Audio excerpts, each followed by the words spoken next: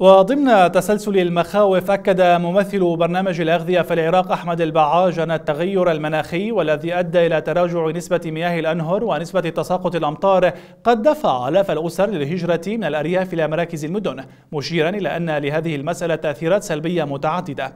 وأوضح أن سلبيات الهجرة ستكون على المستوى الاقتصادي بالحد من الإنتاج الزراعي وكذلك زيادة التنافس على فرص العمل في مراكز المدن وكذلك على المستوى الاجتماعي. وما يحدث من تغير ديموغرافي إلى جانب أن بعض التقارير أشارت إلى تأثير ذلك على الجانب الأمني مع تزايد عدد الجرائم والنزاعات.